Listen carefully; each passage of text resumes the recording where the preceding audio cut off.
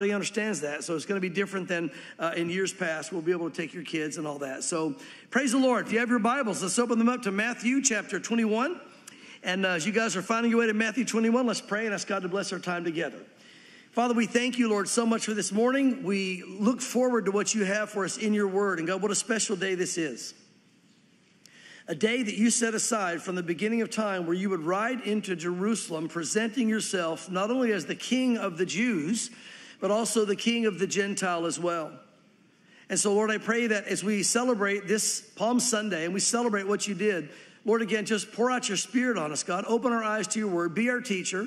And I pray, God, if there's anyone here today that doesn't know you, that before they leave, they would make that commitment, that they would come to know you for real. And we thank you again for this time. We look forward to what you're going to show us. And uh, again, Lord, present yourself to us today as well. And we ask it in Jesus' name. Amen. Now, again, it's going to be interesting, interesting today as we look at Palm Sunday. We're going to start out in Matthew. We're going to end up in Genesis. So when we're done with Matthew, we're going to jump back in Genesis 22. But again, what we look at today is the king arrives for Jew and Gentile. And I kind of feel an emphasis on Jew and Gentile just because, again, um, just all that's been going on here with the nation of Israel recently, and, the, and, and how God, the Bible says, in the last days is going to pour his spirit out on the Jewish people and draw them to himself. And again, you see God working among the Jew and Gentile to bring them one as family. And that's God's desire. Again, the Jews rejected their Messiah 2,000 years ago, and their eyes have been blinded up to this point. But again, the Bible says in the last days, God's going to pour out His Spirit on them, open their eyes, and they're going to receive the Messiah. You know, it's interesting. Uh, the stand that we've been making for uh, the Jews uh, in this area, our local community here, um, they're very appreciative of that. So much so um, that many of them have said they want to start trying to pop in on church services, maybe even come to kinships, which I said they're welcome to do. And this prayer thing we're going to be doing on Monday nights is going to be happening. Some of them have asked if they can come and join us to pray for Israel at our prayer group here at the church on Monday nights. And we made it very clear to them that we're going to be talking about Jesus as the Messiah. We're going to be praying for the salvation of the Jewish people. We're going to be Calvary Chapel. And they said, we still want to come. And so God is doing a work, yes. Now, I'm not speaking for I'm not speaking for all of them, and I'm not saying I'm just saying that God is working in hearts, and I think what they're seeing is is that we love them, and that's the thing is that God wants His family to love each other. We're one family, and again, when I say Jew and Gentile, again that includes everybody that's non-Jew as well, and this whole thing with Jew and Gentile.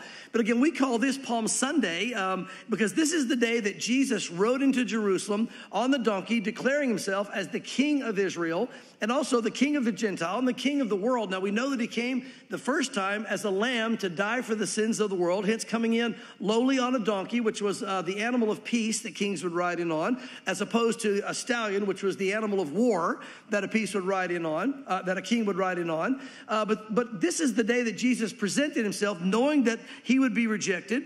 Um, but showing himself to be the Savior of them and of us. And it was all predicted to the day. This is the amazing thing about this, guys. Look, as we go through this passage, if you're doubting, is the Bible truly the Word of God?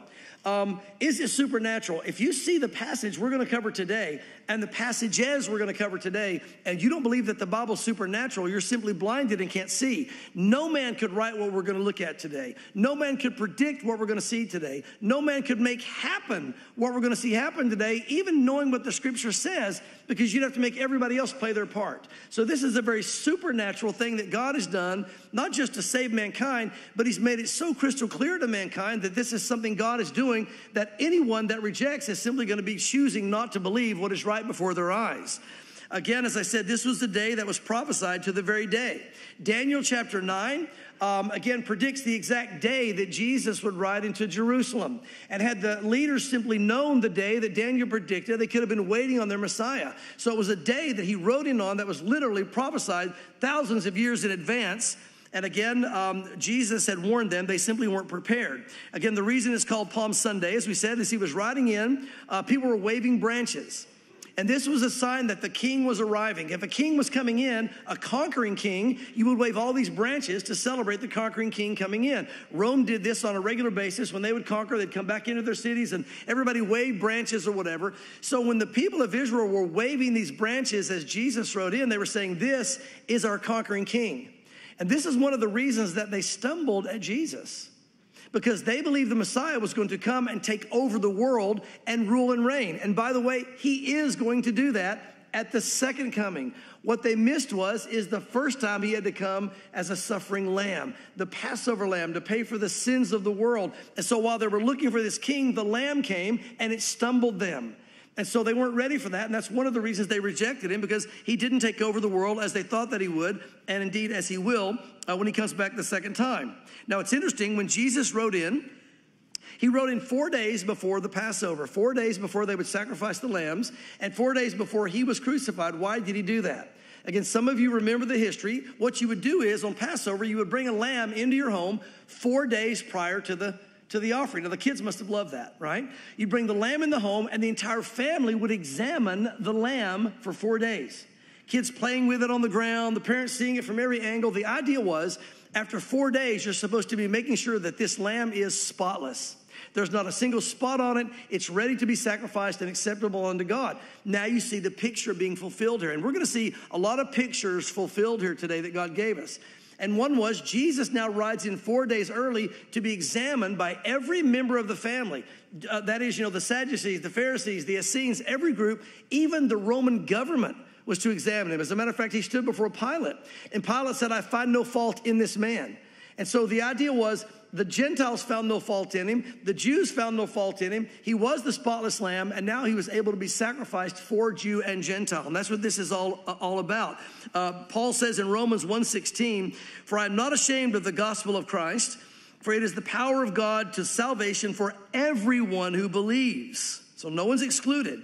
For the Jew first, and also for the Greek. And notice for the Jew first, and then the Gentile.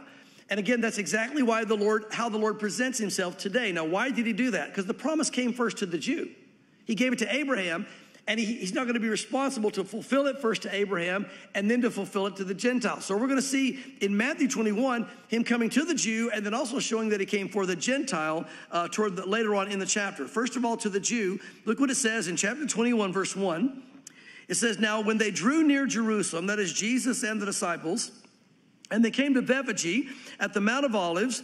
Jesus sent two disciples, saying to them, Go into the village opposite you, and immediately you will find a donkey tied and a colt with her. Loose them and bring them to me. Now, again, uh, notice the two. Remember that. The two that he sent to get the donkey, that'll come in later when we get the full picture out of Genesis. He says, Now, if anyone says anything to you, you shall say, Well, the Lord has need of them, and immediately he will send them. So if anybody tries to stop you, just say, The Lord has need, and, and they will be sent. Probably a prearrangement here by the Lord. And says, All this was done that it might be fulfilled, which was spoken by the prophet, saying, Tell the daughter of Zion, Behold, your king is coming to you, lowly, and sitting on a donkey, a colt, the foal of a donkey. How much more clear could the Lord be? Now, notice what he's done. First of all, the exact day prophesied in Daniel to the day that Jesus would ride into Jerusalem. He's now riding in on that day, and had they known their scripture, they would have known that. And then on top of it, he tells them not just when, he tells them how. He's going to come in on a donkey, not as a conquering king yet. He's going to come in as a king for peace. That is, he came the first time in peace as a lamb to die for us. He's coming the next time as a warrior on a stallion to take the world over and to deal with his enemies. And so the prophecies here and, and, and the, the sheer uh, uh, you know, impossibility of this taking place without it being supernatural, again, already overwhelming, and there's so much more to go. And so, he, he, again, he prophesies this, this is how it's going to be, this is how I'm going to come in. And notice verse 6 So the disciples went and did as Jesus commanded them, and they brought the donkey and the colt. They laid their clothes on them, and they set him on them uh, and a very great multitude spread their clothes on the road. Now, this would be the same as rolling out the red carpet. Again, when the kings would come in, they would take these uh, their, their clothes and put it on the uh, on the road, you know, so they could ride over the top of their clothes and their branches or whatever else as they're waving the branches, saying, "You are worthy, and, and here's your reward." So remember, the crowds were gathering and they were chanting to the Lord as He was coming in. Notice others cut down branches from the trees and spread them on the road.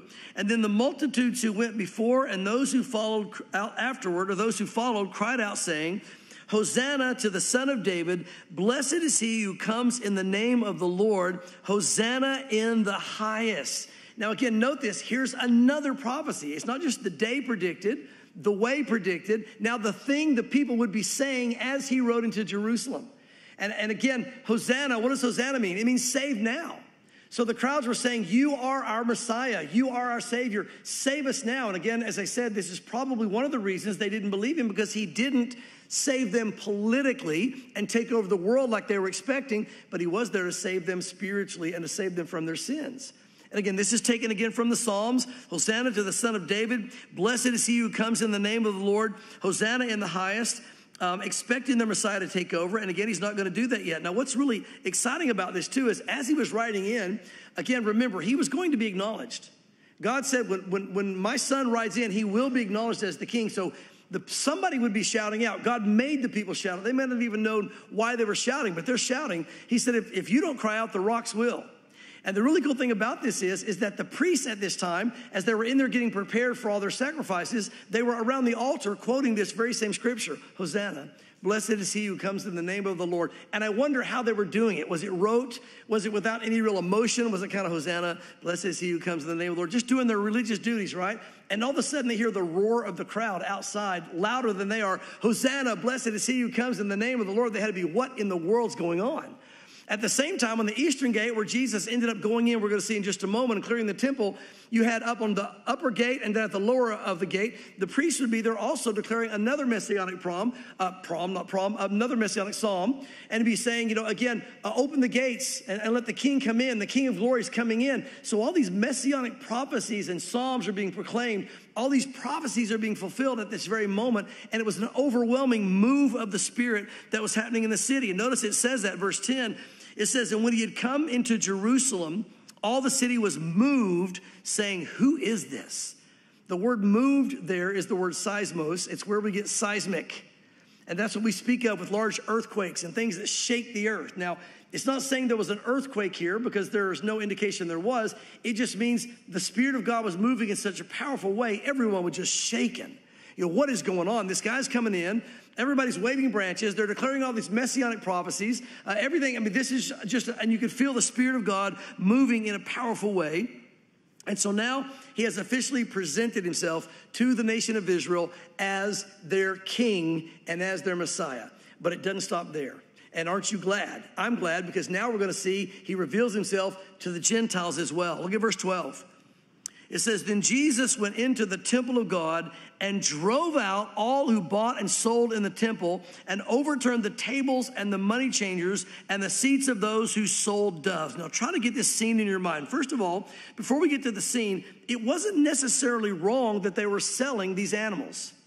That wasn't the point. What they were doing was they were selling these animals at exorbitant prices. To have sacrifices on the temple or nearby was a good thing. You had to worship God by the sacrifices.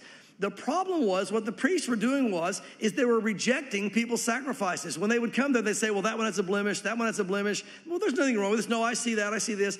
But we have one that's freshly ready to go. It's been it's kosher. It's been approved. You can buy this one." And they would charge exorbitant prices.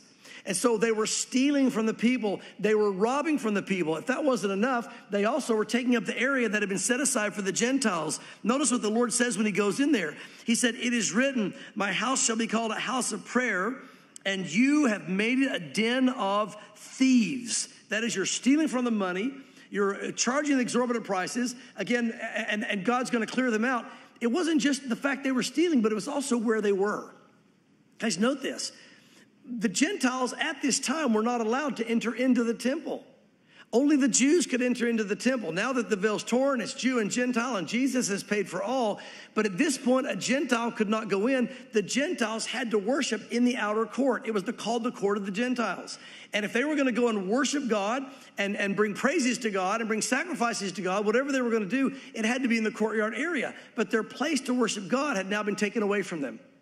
The, the religious leaders had set all their tables up and selling all their animals and all their crooked business. And what the Lord is saying is, look, not only are you stealing from the people, you've removed the only opportunity that the Gentile has to come and seek me. So not only are you deceiving the Jews, you're robbing the Gentiles of their ability to worship me. And now you see why the Lord was so upset.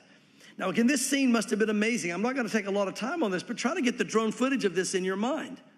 Uh, you know, again, the, the, the, history tells us there was during the feast times about 100,000 people at any time on any of these days during the Passover on the Temple Mount. So imagine 100,000 people on the Temple Mount. That's Neyland Stadium, by the way. Now imagine one guy comes in with a whip and cords and starts turning over tables and whacking, you know, everything. And everybody begins to back up and clear out. And the power of God is there backing him and supporting him. By the way, if anybody thinks that Jesus was a skinny little wimp, you don't know the Jesus of the Bible. He was very much a man's man. By the way, we know that he was a stone worker and a carpenter as well. So he would have been very muscular and very strong. He was a man's man, and he goes in and starts clearing house, turning over the tables, scattering the people. And I try to picture what they was look, look like. I said from the drone, you know, footage, the people get, you know, getting back and pulling back as the Lord just clears everything out. He was in there to say, "This is my Father's house." Stop stealing from the people and allow the Jew and the Gentile to worship. Again, bringing the family of God together and just a powerful picture of what was happening in this whole situation. But notice what else I love because where else was it that the, the, the, blind, the blind and the lame had to go? They, they couldn't go in either. You couldn't be blind or lame or have a blemish and go into the temple. Again, that wasn't because God excluded them and didn't love them. It was a picture of God's perfection and holiness that once was completed on the cross now shows that all are welcome to come to the Lord in any form and fashion, if you will. But the blind and the lame couldn't go into the temple. So the only place the blind and the lame could also worship was out in the court of the Gentiles. And notice the next thing the Lord does, verse 14 says, Then the blind and the lame came to him. So not only showing the Gentiles are welcome, but now those that have the, the, the defects, if you will, physically, they came to him in the temple and he healed them. So he's doing the work of God among the people, uh, right in the face of the religious leaders. But when the chief priests and the scribes saw the wonderful things that he did, you would think because it says he, they saw the wonderful things that he did, they'd be like, this is this has to be the Messiah. There's something about this man. But remember, they were only about themselves and they were only about their glory, not the Lord's glory. When they saw the wonderful things that he did, and the children crying out in the temple saying, Hosanna to the Son of David, they were indignant. And they said to him, Do you hear what these are saying? And Jesus said to them, Have you not read? I love this. Jesus, have you never read? He would challenge these guys that considered themselves the scholars of the word. Is have you not even read your Bible? I love it.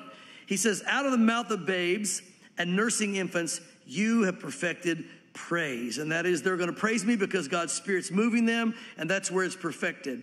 And notice that he left them and he went out of the city to Bethany and he lodged there. And so, again, what a beautiful picture here. He clears the court out. He shows a place for the Jews that should be there to worship, a place for the Gentiles that should be there to worship, um, and, and gives this whole picture of what God intended the temple and the Temple Mount to be. And now we're going to shift gears and we're going to see the picture that God gave of this very event in the Old Testament. The Bible gives lots of foreshadowing and, and pre picturing, if you will, of things that God's going to do uh, later on. And we see that in the Old Testament. And one of the best ones in all of Scripture is right now, and that comes out of Genesis 22. So I want you to turn back in your Bibles to Genesis 22. And here's the setting. Abraham and Sarah, you remember, received a promise from God that God would give them a promised child, a supernatural child because they couldn't have children. Well, Sarah got impatient and decided she was going to help God out. We've never done that, have we? And so Sarah says, All right, let's go ahead and have somebody who'll come in. Hagar can be a handmaiden. That was acceptable in that day, not in God's eyes, but in the world. And so the world does it. So we'll adopt that and we'll let her have a child for us. And then we'll have this baby and the promise of God can be fulfilled. The problem is God came to, and Abraham should have never done that. Sarah should have never done it. But then God came to Abraham and said, You know what? That's not going to work. I, I didn't say I was going to let you do it another way. I said, I'm going to give you and Sarah a child. And it'll be a child of promise. It'll be a child of the spirit, not a child of the works of the flesh. Again, the whole picture here of the law versus the spirit and the works of the flesh versus faith in Christ. It's all being built in this whole picture here, and Paul speaks about it in the New Testament. But either way, he says, I'm going to give you a child. It's like, no, just can't, Ishmael be, it. no, it's not Ishmael. It's going to be you and I'm going to give it to Sarah, and you're going to have a child. His name's going to be Isaac, and he's going to bring laughter, and I'm going to fulfill all my promises through him. So that's been the setting. And again, now we've seen that Isaac's been born and they're rejoicing that they have this child of promise that God's going to bring all these things, a blessing to the world, uh, and a, certainly a blessing to them. And this whole picture is going to be built now of the Father to the Son and the sacrifice. Even as in what we just read, the Father in heaven to the Son Jesus Christ and the sacrifice of his Son. And he's going to build this whole picture on a human level of the emotion that Abraham would have been going through, showing the emotion that God went through, the sacrifice of a son. Imagine sacrificing your child. Now, again, God never intended him to be sacrificed, and God doesn't approve of human sacrifice. But God was simply saying to Abraham, Do you love me enough to put me first? Do you love me enough to put me above even your own children? Do you love me enough to put me above your own grandchildren? That's a new, a new challenge for me, right? Do you love me enough to put me before your husband or wife or anyone else? Abraham, I know the answer, but I want you to know the answer, and I want to see where your heart is. And notice what happens. And at the same time, I'm going to paint a picture to the world of what I'm going to be doing down the road with my son. Let's look at it fall together. Look at chapter 22. It says, Now it came to pass after these things that God tested Abraham and said to him, Abraham, and he said, Here I am.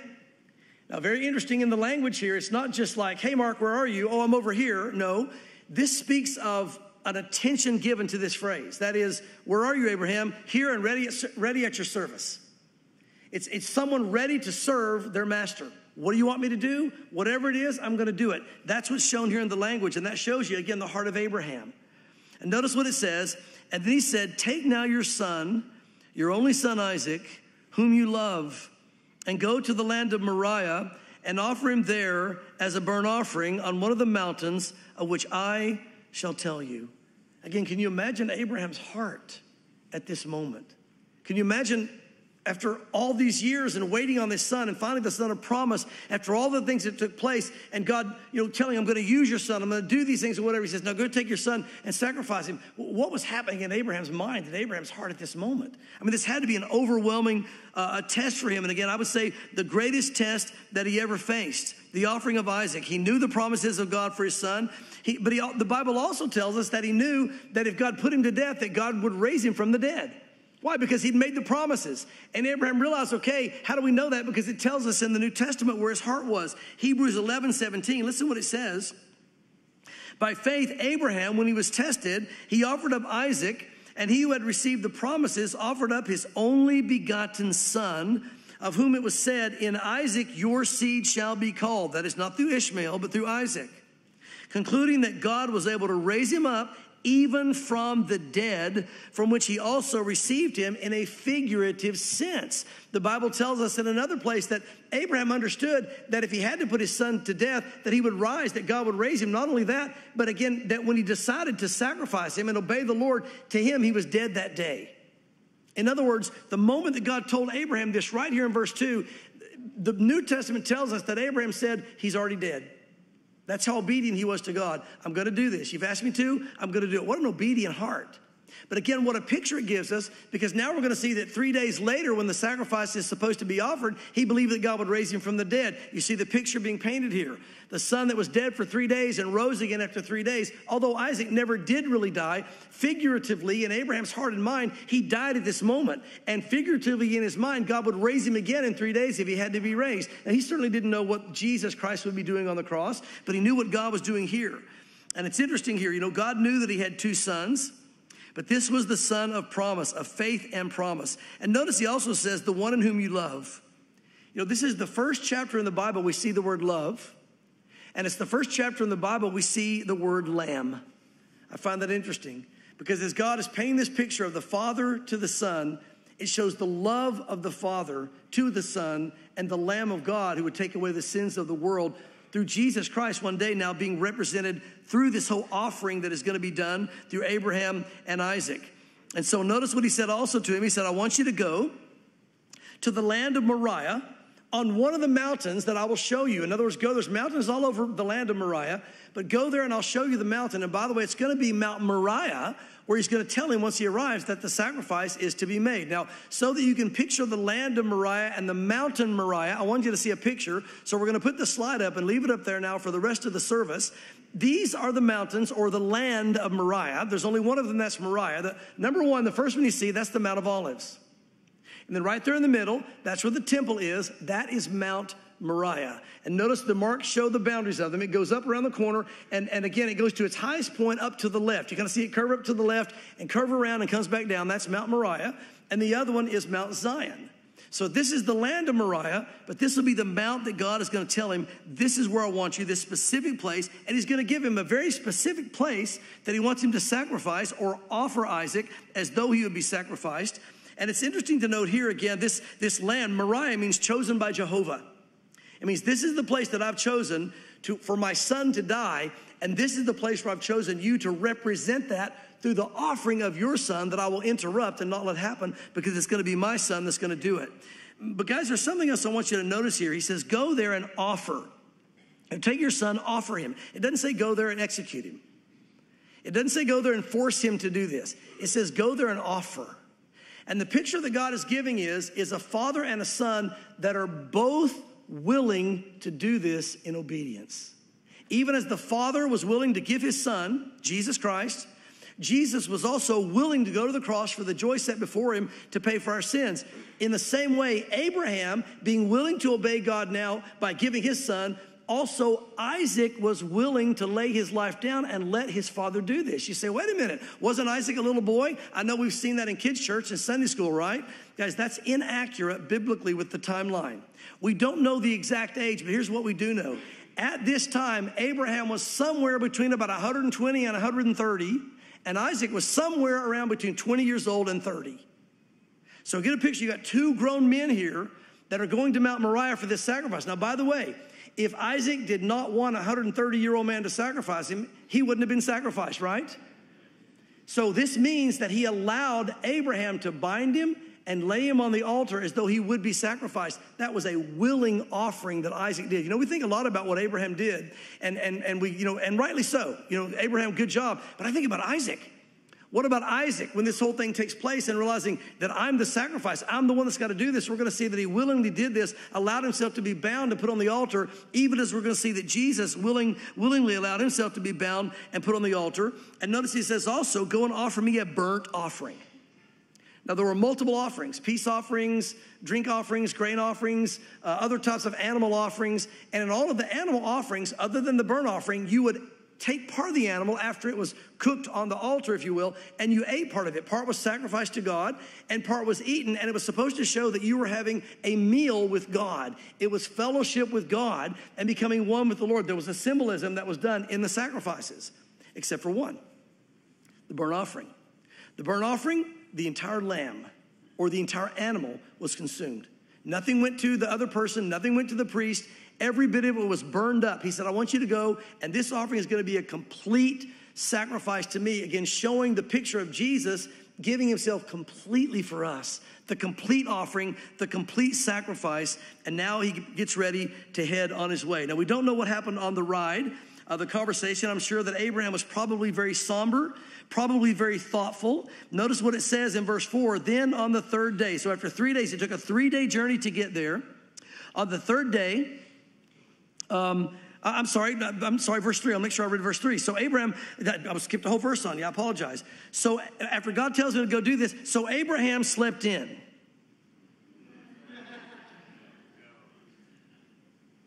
I would have been tempted to sleep in. And I would have been tempted to say, Lord, are you sure on this one? This is my son. I know you want me to give you everything. And, and, and, and I'm, I'm, I'm starting to give more to you, Lord, but this is the most precious thing to me in the world. And see, here's where the real test comes in for the believer. All of us can give God something. But how many of us can really give God everything? And that's the challenge. That's what set Abraham apart. He said, I don't want to just give you something, I want to give you everything. And so I think how would I've handled that? You know, I love Abraham. He didn't sleep in. He didn't say, God, could you give me a confirmation? Look what it says.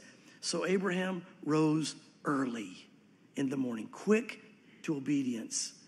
And he saddled his donkey. And I told you this would come into play.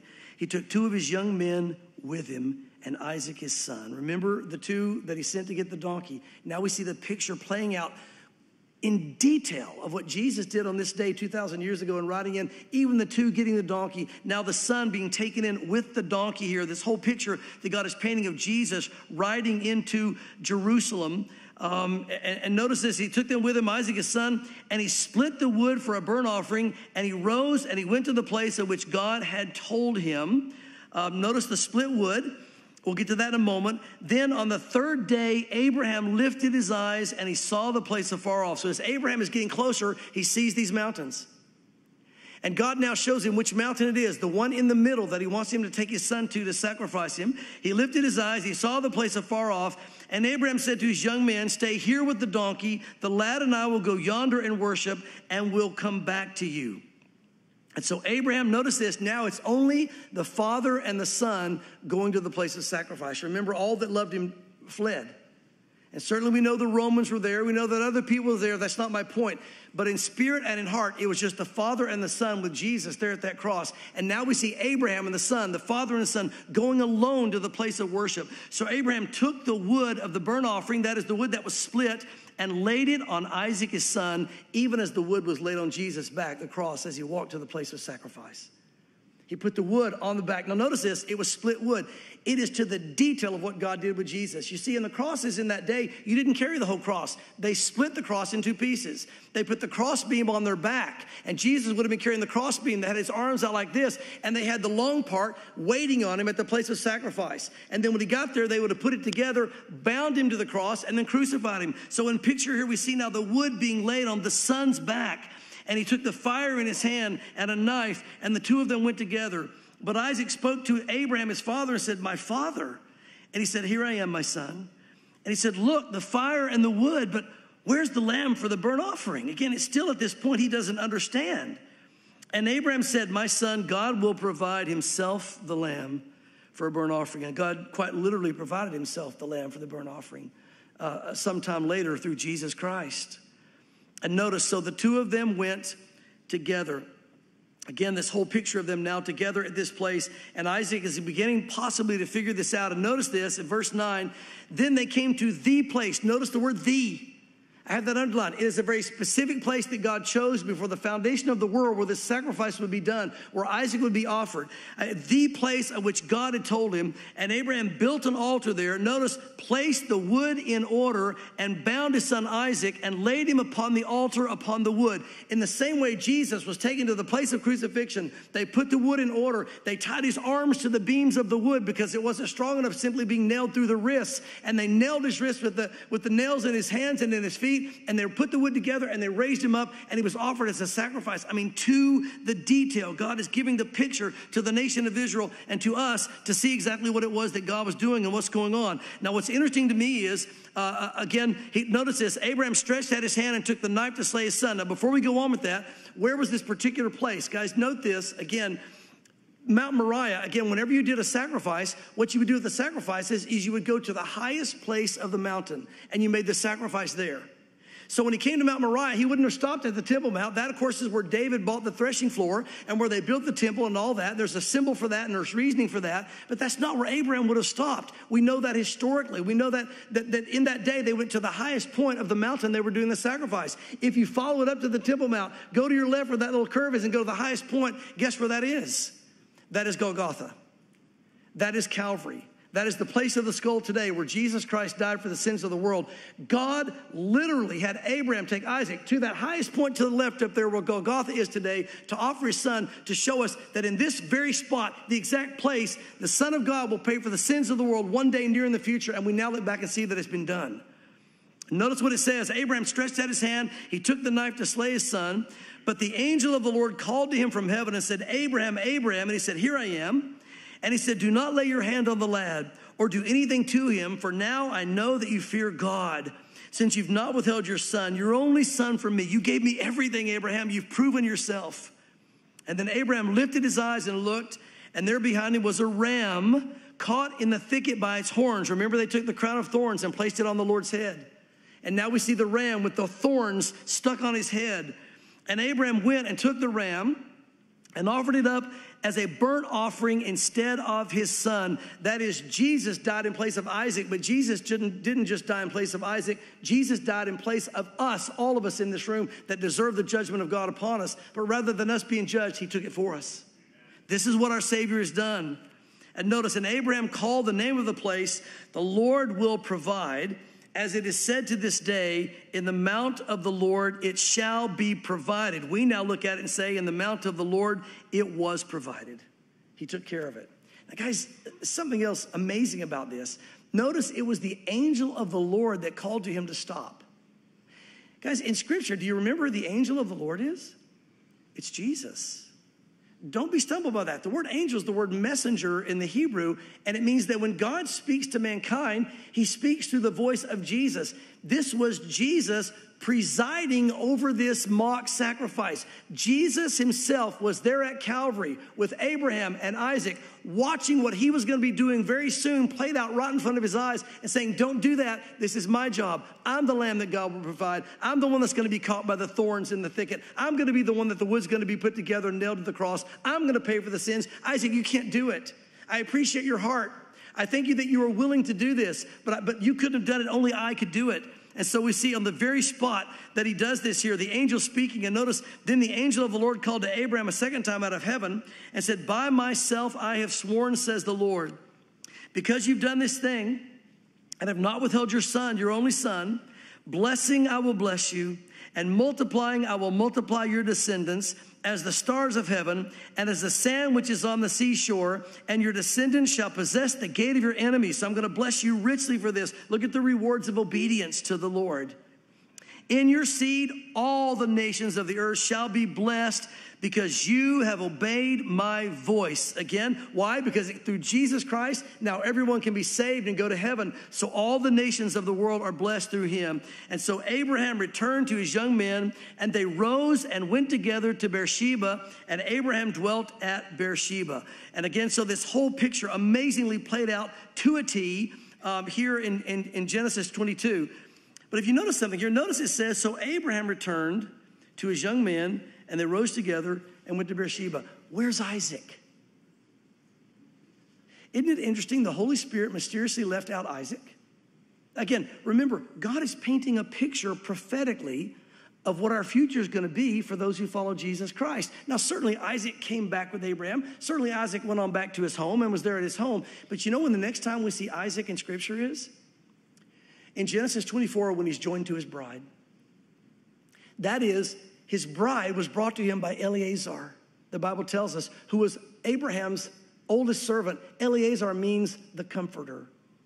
And the comforter brings the bride to the son who's already at his home so they can start their marriage and life together. Guys, exactly as the Lord said, He's gone to His home and He's waiting, and the Holy Spirit is going to take the bride of Christ in the rapture of the church and bring us up to the Lord where we'll be joined to Him, His bride, and Him together, and we're going to go into the home together and have the marriage supper of the Lamb for seven years. And then once that's done, the Bible says it's not going to be the bride coming to Him. Now the bride will be with Him in the second coming, coming back and establishing His throne and His kingdom on the earth to rule and reign for a thousand years you couldn't get a, a more clear picture of Jesus, the rapture, and even speaking of really the picture of the second coming. And so, guys, we have amazing things to look forward to as we celebrate this week of what the Lord did for us in his life. Again, I want you to do that this week to celebrate in what Jesus has done.